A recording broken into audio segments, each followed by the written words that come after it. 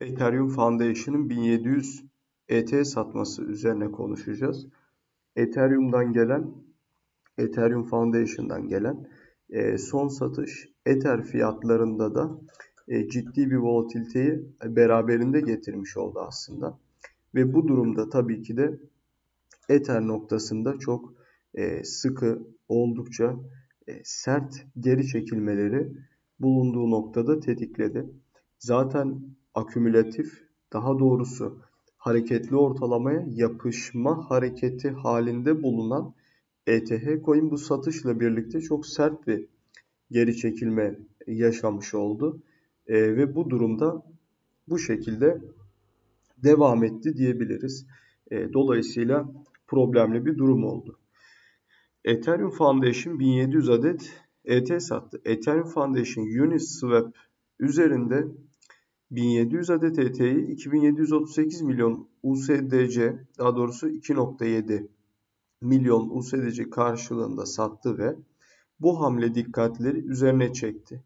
Satış bir açıdan dijital ekonomide stablecoin'lerin giderek daha fazla önem kazandığını da e, gösteriyor diyor. Evet.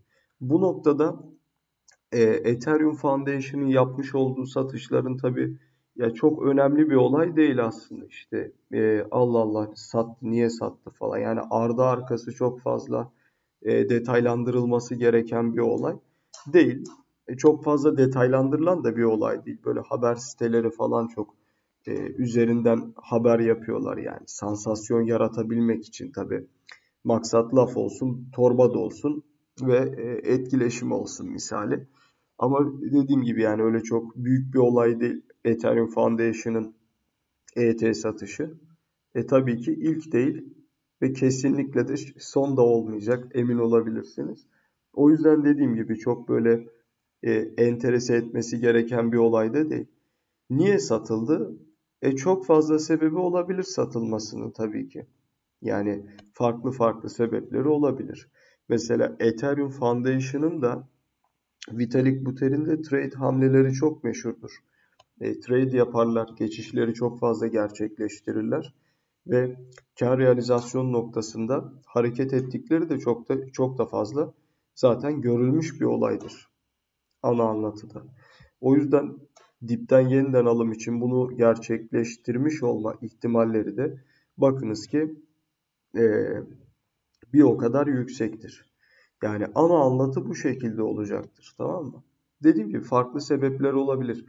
E başka bir altcoin'e geçeceklerini pek zannetmiyorum. E bunu da yapabilirlerdi aslında. Bunu yapmaları da e, beklenen bir husus olabilirdi.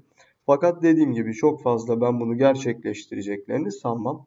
Çünkü genelde yani %90, %95 e, zaten yaptıkları kar realizasyonunda da devamındaki hareketlerde de aynı şekilde kullanmış oldukları iş, kullandıkları kripto para Ether'dir. Uzun vadeli hareketleri de Ether'dir. Ellerinde farklı kripto paralar bulunur. Fakat e, bunlar üzerinde aşırı etkin değildirler. E, velhasıl tabii ki bunun e, gerçekleşmiş olması fiyatlar noktasında geri çekilmeyi tetikledi. Çünkü spekülasyonlara yol açtı. Yani üzerinden bir de e, food haber ekstradan bir de food haber dönmesine sebebiyet verdi. Ama olayın aslında pek bir şey yok yani. Evet diyor ki işlem sonrasında Ethereum Foundation adresinde 240 ET 3.3 milyon USDC 50 bin DAI ve 10.000 ARB dahil olmak üzere çeşitli kripto paralar bulunuyor. Evet. Bu varlıklar yaklaşık 3.6 milyon dolarlık bir değeri temsil ediyor. Yanlış yazmışsınız. On-chain veriler 1700 adet ET'nin işlemden yaklaşık 30 dakika önce multisig cüzdan adresi olan bilmem nereden geldiğini gösteriyor. Bu işlem Ethereum Foundation'ın stablecoin piyasasındaki pozisyonunu güçlendirdiğini gösteriyor. Tabi bu aynı zamanda ayı diye tabir ettiğimiz bir harekettir. Yani ne demek ayı olmak bu noktada? Adam, adamlar kripto paralara işte bitcoin'e ya da altcoin'lere bakınız e, giriş gerçekleştirmiyorlar. Bu şekilde iş yapmıyorlar. Bunun yanı sıra ne yapıyorlar? Gidiyorlar stable coin'de kalıyorlar. Yani bu tipik olarak altcoin'de daha fazla düşüşün, daha fazla geri çekilmenin e, beklentisi içerisinde, beklentisi halinde olduklarını gösteren tabii ki de tipik bir olaydır. Ve bu şartlar altında fiyatların daha fazla geri çekilme ihtimali üzerinden e, hareket edildiğini de göstermektedir. O yüzden e, durum ana hatlarıyla böyle. Yani Bitcoin ve kripto paralarda aynı zamanda Ether de bunun içerisinde. Adamlar geri çekilme bekliyor. Nitekim daha fazla geri çekilme e, gelecek muhtemelen. Önceki videolarda da bunun üzerine daha da detaylı bir şekilde konuşmuştuk. Durum böyle yani. Spekülasyonlar hızla yayılıyor.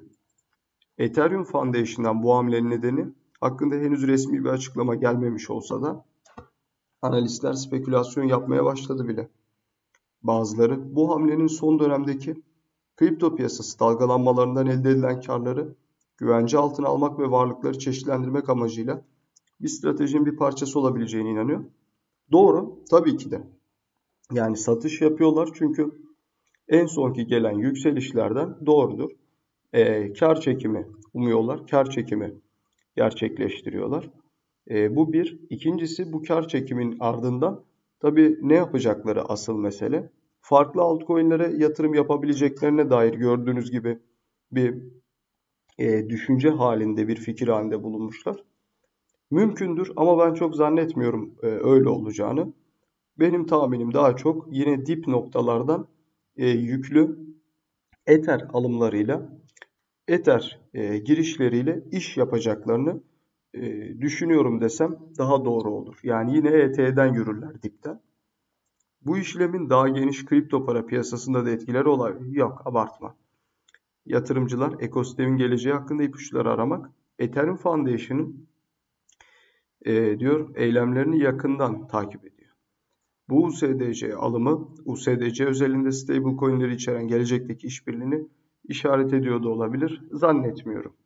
Yani Circle'la birebir de bir iş olduğunu yani e, direkt olarak onları hedefleyen bir olayın geleceğini pek sanmam. Ola da bilir tabii ki ama e, bu olayın onunla pek bir ilgisi olduğunu e, kesinlikle ben söyleyebileceğimizi zannetmiyorum. Durumlar böyle. İzlediğiniz için teşekkür ediyorum. Abone olup videoyu da beğenebilirsiniz. Bol kazançlar dilerim herkese. Hoşçakalın.